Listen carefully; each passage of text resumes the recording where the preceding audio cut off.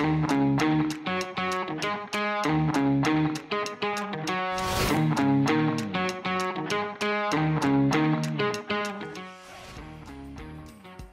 Show is a free presentation tool that allows you to create presentations, collaborate on them in real time with your team, and present them to your audience.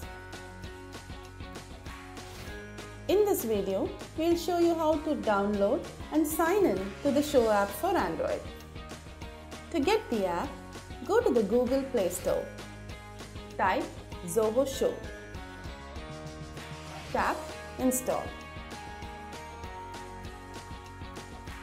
If you already have a Zoho account, you can sign in to Show by tapping the profile icon in the top right corner and tap Sign In.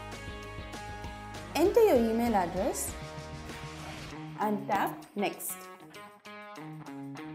Enter your password and tap Sign In. If you don't have an account yet, we'll show you how to create an account in our next video.